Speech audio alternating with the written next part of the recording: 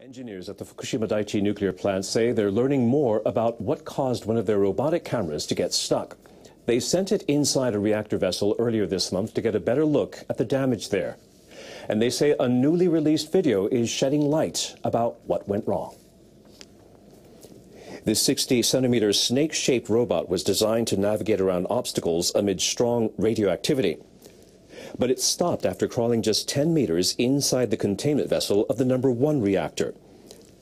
Video footage released by Tokyo Electric Power Company shows the robot tilting to the right. Officials say they've given up on recovering the device. Crew sent a second robot to retrieve the first machine, but the rescue robot also suffered a malfunction. Its camera stopped working due to radiation exposure. So they've decided to abandon both of them. Officials say the footage they retrieved before the initial device stopped working is helpful. It shows no major damage to part of the containment vessel close to the bottom. Melted nuclear fuel fell to the bottom of the vessel in the 2011 accident. The operator says it will analyze the footage and other data with the aim of eventually removing the fuel.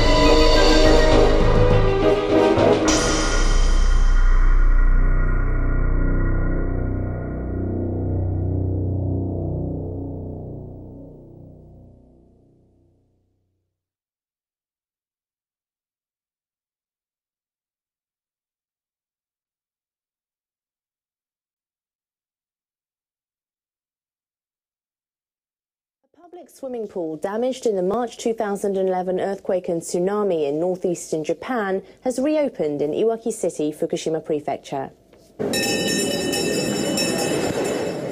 The pool is about 100 meters from the coast. More than 100,000 people visited the pool every year before tsunami damage to the building's first floor forced officials to close it. The new pool makes me feel the city is recovering little by little. The complex includes a walking pool and a seven meter high water slide. Many families and children were on hand to take the plunge. Speaker of Japan's lower house is stepping down because of health reasons. The lower house is expected to approve the move on Tuesday. Liberal Democratic Party heavyweight Nobutaka Machimura submitted his letter of resignation on Monday. Machimura was hospitalized last week after falling ill. The 70-year-old has since been absent from lower house plenary sessions. He said he was diagnosed as having a brain infarction. I decided that my condition should not affect my duty as the House Speaker, considering the heavy responsibility of the post. Machimura is a former chief cabinet secretary and foreign minister. He became lower house speaker in December last year. The LDP plans to recommend former party vice president Tadamori Oshima as Machimura's successor. Japanese government officials say they are willing to contribute another $40 billion to keep reconstruction work running in areas hit by the 2011 earthquake and tsunami. The amount would cover the five-year period from April 2016. For the first five fiscal years following the disaster, the government guaranteed to pay most of the recovery-related costs, but this so-called intensive reconstruction period will end in March next year. Officials at the Reconstruction Agency came up with their number after reviewing requests from three disaster-hit prefectures, Iwate, Miyagi, and Fukushima. Last year, people at the three local authorities said they would need more than $67 billion over five to 10 years from fiscal 2016. The central government officials shaved the figure to $42 billion for five years deciding the remainder should be covered by other sources. The agency officials plan to review the past uh, reconstruction projects and compile a new framework for the next five-year period by the middle of this year. Toshiba has begun testing a hydrogen fuel cell system to use in emergencies. The invention supplies power to hundreds of people during natural disasters. お願いいたします。 The electronics maker unveiled the technology at a park near Tokyo. The company says its solar panels generate energy to split water into hydrogen and oxygen. The hydrogen is stored in tanks and converted to electricity through a chemical reaction with oxygen.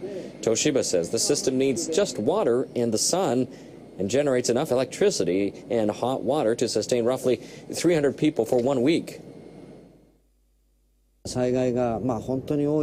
I hope this will be one relief measure for a country that often faces natural disasters. Once tests are complete, Toshiba plans to start selling the technology later this year to local governments and commercial facilities. Japan experienced its first outbreak of dengue fever in 70 years. Public health officials here in Tokyo are now taking steps to make sure the disease doesn't spread again. NHK World's Misako Oshie reports. Officials with the Tokyo metropolitan government are starting their fight against the dengue virus before mosquito season sets in. They are looking for larvae in stagnant pools of water and are dropping pesticide into gutters in nine parks. They are also trying to catch insects to see if they are carrying the virus. Last year, about 160 cases of dengue were confirmed around the country. Most of them were tracked to this park in central Tokyo. Yoyogi Park is one of Tokyo's most popular getaways. With the arrival of spring and warming temperatures, more and more people are expected to flock to the park. I did not know about that, and that is uh, alarming. The government to do something about that or something, that will be really nice. The discovery of the virus forced the closure of the park for nearly two months. The infections were initially limited to people who had visited the park, but soon the virus was found in others who had not been here. Dengue fever is spread by mosquitoes and not from person to person. Symptoms include severe joint aches, headaches, and fever. Officials say they will continue their measures against dengue twice a month Mosquito season begins in July, at the end of the rainy season. We would like everyone to take preventive measures and get rid of stagnant pools of water wherever possible.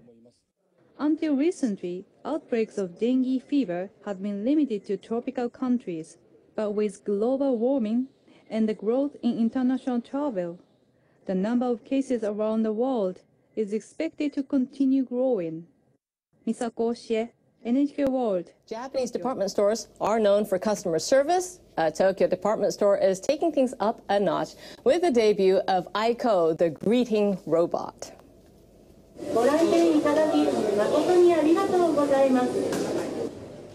Aiko wears a kimono and works alongside a human employee at a ground floor information kiosk. It even bows to customers.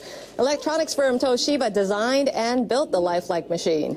Aiko can move 43 parts of its upper body as it speaks. Its surface is covered with silicone that looks like human skin. A clerk told me it's a robot. That surprised me.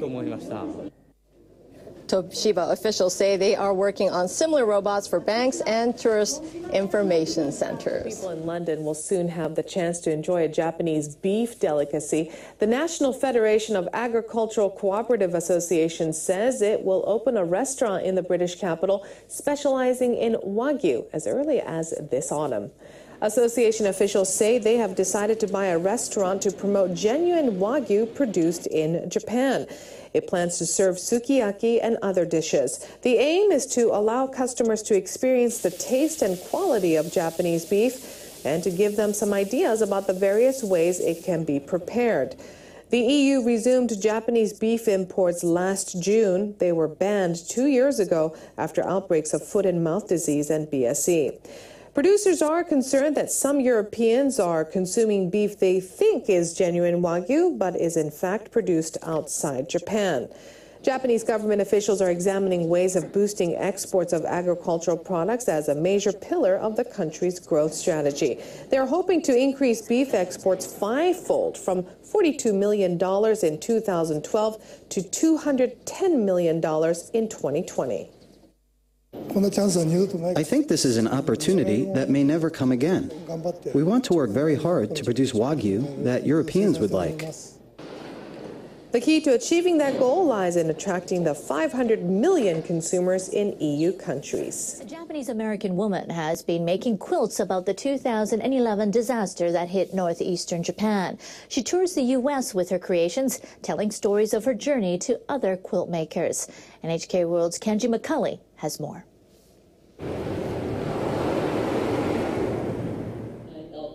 At a gathering, women in this community in Lawrence, Kansas are making some quilts. Quilt making is a popular pastime in the United States and is often a communal activity. But what's not so traditional here is the imagery of these quilts. Here, Japan is surrounded by raging waves, and the sun seems to be shedding tears. And in this one, nuclear reactors are being hit by a tsunami, and radiation is spewed into the air. It was sixth and seventh grade. Cindy Perry, a Kansas resident, started making a series of quilts four years ago following the Tohoku disaster. Yeah, really hard to pull through that fabric. Oh, and thread Mhm. Well, I wanted it to show, yes. you know. They were in me, they had to come out. Um, I felt like this series chose me to make them. I didn't really choose to make them, I don't think. I feel like they chose me. Perry was born in Japan but immigrated to the U.S. as a one year old. But the country remains close to her heart. She still remembers the shock when she heard news of the disaster. Her husband Mark happened to be in Tokyo. He was safe and brought back newspapers with images of the devastation. These ended up giving inspiration for her quilts. At first, her quilts tended towards sad imagery. The agony expressed in this piece was what Perry was feeling at the time. I want to express the surreal, nightmarish scenario and convey the feeling of being dazed. Perry tells her fellow quilters what she wanted to express in the piece. Suddenly, the life that you worked so hard for, the life that you knew, it's gone. Last November, Perry visited the affected areas of Tohoku for the first time. What struck her most, she says, was a single pine tree that remained out of a forest of over 70,000 along the coastline before the tsunami. For Perry, it symbolized resilience and hope for the future. After her visit, Perry made a new piece titled Sakura, Cherry Blossoms. It is believed that the harsher and colder the winter, the more beautiful and fuller the sakura bloom in the spring. Perry hopes to pay tribute to those who continue to struggle in the wake of the disaster and to celebrate the hope for new life which spring brings. I hope that anyone that looks at it smiles and that they see a happier, brighter future for Tohoku and for Japan. Perry has made 12 pieces in this series and hopes to make a couple more to express that her thoughts are with those affected, despite the time that has passed since the disaster. Kenji McCulley, NHK World, Lawrence, Kansas. Japanese space scientists plan to send a probe to the surface of the moon. They hope to launch it around 2018. If successful, Japan would be the fourth country to accomplish the feat. An official of the Japan Aerospace Exploration Agency announced the plan at a government panel meeting. We will use ultra precise landing technology for the probe, which is named SLIM. SLIM stands for Smart Lander for Investigating the Moon. The probe is designed to use image recognition technology to identify geographical features so that it can land at the right place. JAXA officials plan to launch SLIM on an Epsilon rocket. They say the mission would help establish technology for resource exploration. The moon is the nearest celestial body to Earth. It's 380,000 kilometers away. The former Soviet Union landed its unmanned probe Luna 9 on the moon in 1966. In 1969, Apollo 11 of the U.S. landed on the moon carrying three astronauts. That's one small step for man, one giant leap for mankind.